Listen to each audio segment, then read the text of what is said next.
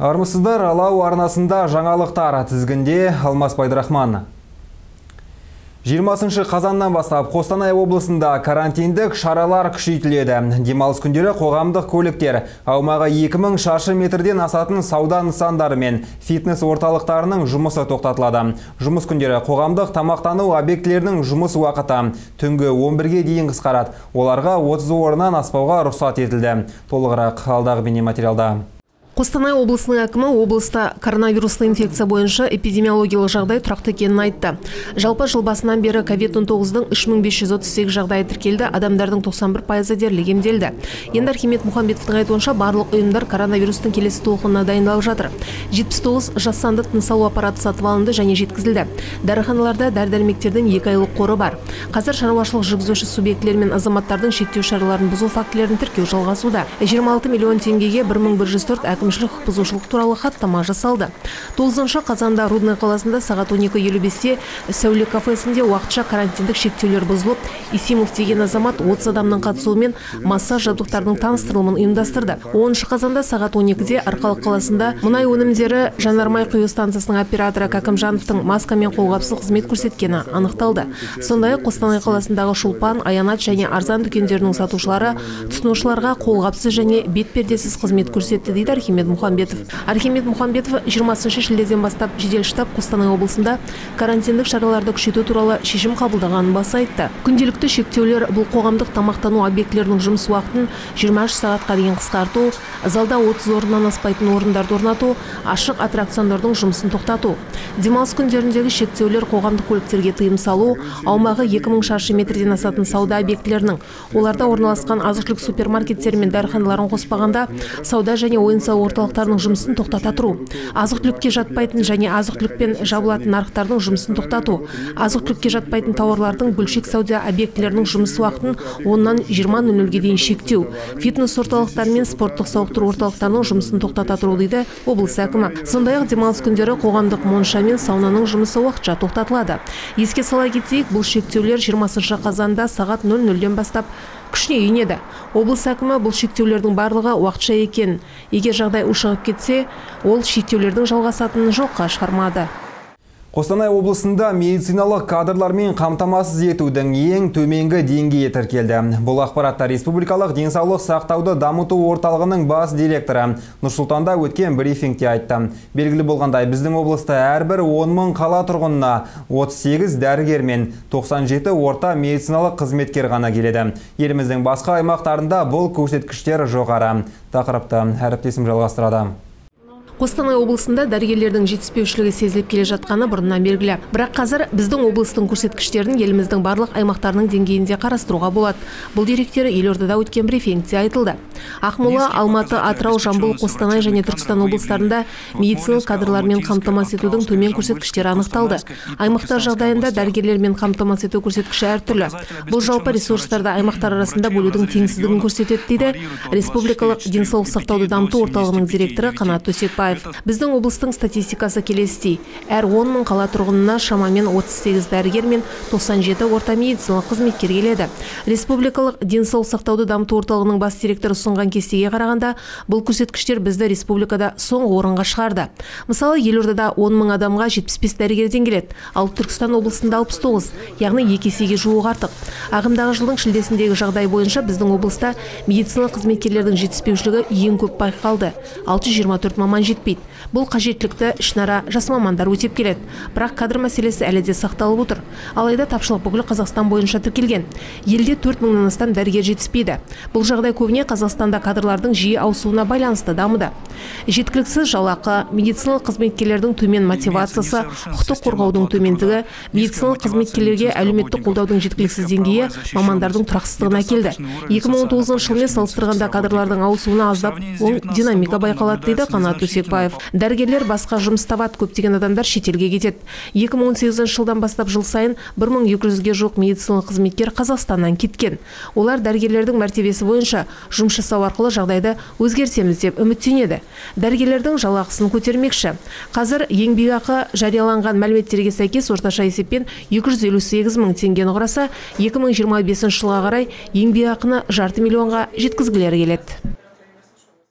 Қостанайда осы уақытқа дейін екі казино жұмыс істеп келген. Жақында олардың қызметін арнайы қызметкерлер жолын кесіп, факты бойынша тергеу басталды. Қошаған ортаға 6 миллион теңгеден астам шығын келтіру туралы тағы бір қылмыстық іс тоқтатылды. Өйткені олар кінәліні таппады. Осы туралы сондай қатыгездікпен өлтірген үшін сотталған адамның апелляциялық шағымы бойынша шешім туралы толығырақ алдағы бейнематериалда.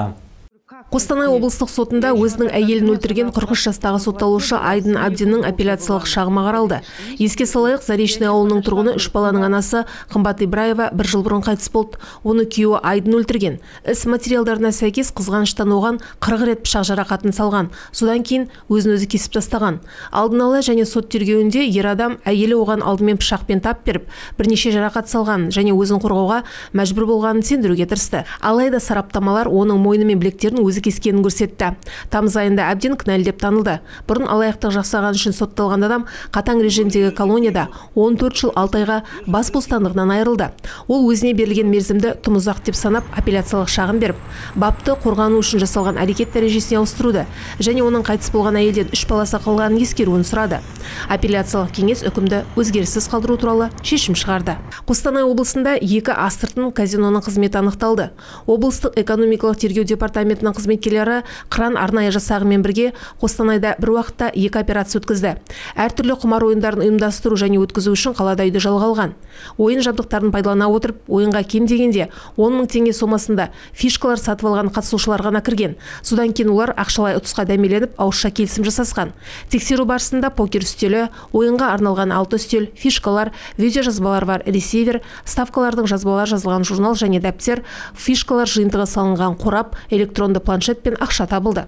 Қазір уақытта тергеу әрекеттері жүргізіліп жатыр. Жазда көптеген қостанайлықтарды үрейлендірген өрт туралы іс жабылды. Қаланың оңтүстік бөлігінің үстінде түтін көтеріліп жатқанын көрсететін кадрлар жетінші тамызда ғаламторға тез тарап кетті. Түтін қаланың кез келген жерінен көрінетін. Өрт ірі сауда орталығында немесе гарбышев көшесінің артында орналасқан әлдебір кәсіпорында болып жатыр деген қауесет тарады бірақ белгілі болғандай орман мен дала өртеніп оған қатты жел ықпал етіп секундына 11 және одан да көп метрге дейінгі жел өртті өшітті. Нәтижесінде дружба ауылына сондай ақ астық алқаптарына қауіп төнді. Өртпен күресу үшін қостанай өрт сөндіру қызметінің бүкіл гарнизоны сонымен қатар мемлекеттік емес қызметтердің ірі коммуналдық кәсіпорындардың өкілдері жұмылдырылды. Өртті ауыздықтау үшін алты сағаттан астам уақыт кетті. Ауланы түпкілікті жою үшін тағы үш сағат қажет болды. Жалын аумағы үш гектардан асып табиғатқа келтірілген шығын алты миллионнан астам теңгені құрады. Ормандарды бүлдіру жою бабы бойынша қылмыстық іс қозғалды. Ресми емес мәліметтер бойынша өрттің ықтимал себебі сол аумақта орналасқан кәсіпорындардың бірінің жұмысшыларының қоқысты жағуы.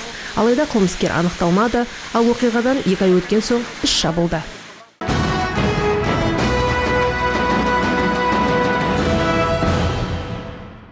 Әрі қарай жалғастырамыз. 19 қазанда Қазақстанда құтқарушылар күні атап өтілді. Дәл осы күні 25 жыл бұрын Қазақстан Республикасының төтенше жағдайлар жөніндегі мемлекеттік комитет ұйымдастырылды. Қостанайда коронавирусқа байланысты бұл күні үлкен мереке болған жоқ. Бірақ құтқарушылар бұл күні қаза болған әріптестерінің ескерткішіне дәстүрлі түрде гүл қоюдан бас тартпады қазақстан республикасының тұңғыш президенті нұрсұлтан назарбаевтың жарлығымен 1995 жылы 19 қазанда төтенше жағдайлар жөніндегі мемлекеттік комитет құрылды. Бұл күні өртке қарсы судан құтқару қызметі және азаматтық қорғаныс қызметкерлері өздерінің кәсіби мерекелерін атап өтеді.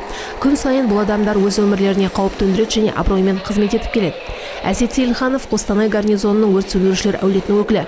Ол сегіз жыл қызмет етіп келеді және осы жылдардың ішінде жұмысындағы ең маңызды нәрсені түсінді. От дегеніміз қорқынышты күш. Бірақ айтқанда егер сіз қорқатын болсаңыз онда сіз тірісіз. Қорқыныш бар бірақ онымен күресу керек. Жұмыстағы жігіттер бір бірімізге қолдау көрсетеміз. Сондықтан еш нәрсе қорқынышты емес дейді өрт сөндіруші әсет сейілханов. Жақында құтқарушылар ішкі істер министрлігінің төтенше жағдайлар комитетінің құрамында болды. Алайда биыл қасым жомарт тоқаев құтқару қызметіне ерекше мәртебе берді. Мемлекет басшысы өзінің қазақстан халқына жолдауында төтенше жағдайлар министрлігін қайта құрудың маңыздылығын атап өтті. Және бұл жаңалық осы мереке күні ең көп талқыланған жаңалықтардың бірі болып табылады. Бұл қызметтің құрылғанына 25 жыл. Біз төтенше жағдайлар министрлігінің қайта құрылуының куәсі болып отырмыз. Бізде өрт сөндіру бөлімдері бар және әкімшілік қызметкерлердің санаты бар. Олар погон тағатындардан кем емес үлес қосады.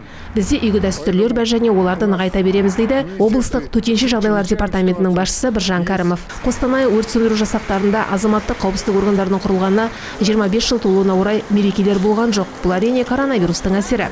Бірақ олар бұл күні қайтыс болған әріптестерінің ескерткішіне дәстүрлі түрде гүл шоқтарын қоюдан бас тартқан жоқ. Қазіргі және отставкадағы өрт сөндірушілер кеңес одағының батыры леонид телятниковты еске алды. 1986 жылы қостанайдың өрт сөндірушісі телятниковтың бөлімшесі чернобыль атом электр станциясының реакторындағы өртті сөндіруге бірінші болып кірісті. Ол және оның командасы станцияда үш сағат тұрып жоғары мөлшерде радиация алды. Тобыл маңындағы саябақ өзінің келбетін ауыстыруды жалғастыруда. Құрылысшылар алаңдарды тазалап, демалыс және жаяу жүргіншілер алаңын орнатып жатқанда, студенттер мен еріктілер ағаш отырғызумен айналысуда. Өткен сенбіде саябақта 110 қайын көшеттері пайда болды. Олар атақты Ұлы Отан соғысының батыры Бауыржан Момышұлының мерейтойына орай отырғызылды. Толығырақ әріптесім бейне материалында аяқ киім және пальтода күрек айбын ағаш көшеттеріне орын дайындауда. Ол көптеген қостанайлық студенттер сияқты ең алдымен өзі үшін маңызды шараға қатысу үшін притабол саябағына келді. Мұнда ұлы отан соғысының батыры бауыржан момышұлын еске алуға ағаштар отырғызылды. Биыл оның туғанына 110 жыл толады. Мұндай іс шаралар біздің қостанай құрылыс колледжінің ұжымының бірлігін күшейтуге ғана емес сонымен бірге белгілі бір дәстүрлерді нығайтуға да ықпал етеді деп ойлаймын. Ең бастысы менің ойымша біз естелікке лайық ерлік істер туралы ұмытпауымыз керек дейді қостанайдың құрылыс колледжінің студенті айбын өтен. Олар көктемде батырдың мерейтойына сонымен бірге жеңістің 75 жылдығына арнап ағаш отырғызғысы келді. Бірақ карантин рұқсат бермеді. Көшет отырғызуды кейінге қалдыруға тура келді. Бірақ қазір ағаш отырғызу үшін колледждердің студенттері мен оқытушыларын еріктілерді және әртүрлі мемлекеттік ведомстволардың өкілдерін жинауға мүмкіндік туды. Иық пен иық тіресе олардың барлығы ағаштың тек бір түрін қайыңды отырғызады. Әртүрлі ағаш түрлерінен үлкен таңдау болды. Емен қарағай шырша қарақат алма ағаштары. Бірақ біз қайыңды отырғызуды ұйғардық. Бауыржан момышұлы мәскеу түбінде шайқасқандықтан осы ағаш жанымызға жақын болғандықтан біз қайыңды таңдадық дейді жастар саясаты басқармасының бас маманы бүркіт жанпейісов. Саябаққа 110 көшет отырғызылуы керек еді. Батырдың мерейтойының саны бойынша әр ағаш ерлік туралы жеңіс туралы тіпті оны кім отырғызғаны туралы естелікке айналуы керек. Сондықтан кейбіреулер мұнда бүкіл отбасымен кішкентай балаларымен келді. Әріптесіміз исламғали да қарап тұра алмады. Ағаш жердің көркі айналамыз әдемі желекке бөленсін деп өз үлесімді қостым бұл болашақ ұрпақтар үшін балаларымыз үшін қажет. Мен саябаққа келіп осы ағашты отырғыздым деп айтамын. Ол біздің қаламен бірге өседі дейді алау телерадио компаниясының көлік жүргізушісі исламғали нұрышев. Облыс әкімінің орынбасары бақыт есімова көшет отырғызуға қатысуға шешім қабылдады. Ол біздің облысқа жақында келді. Бірақ енді ол осы ағаштардың тамырлары сияқты осында тірек болуға ниетті. Мен ағаш отырғыздым әртүрлі сенбіліктерге қатыстым. Енді осы іс шараға бара жатырып мен бұл ағаштарды қайда отырғызғанымды есіме алдым және осы жерлерге тағы барғым келді. Менің ойымша бұл іс шара маған осы жерге қайта қайта оралғым келетін сезімді сыйлайды дейді облыс әкімінің орынбасары бақыт есімова. Көшеттерге күтім жасау үшін еріктілер тағайындалды. Келесі жылы олар отырғызылатын жерге барып қайыңдардың тамыр жайғанына көз жеткізеді. Осымен бүгінге келіп түскен жаңалықтар легі тәмам. Алау арнасында амандықпен жүздескенше қош сау болыңыздар.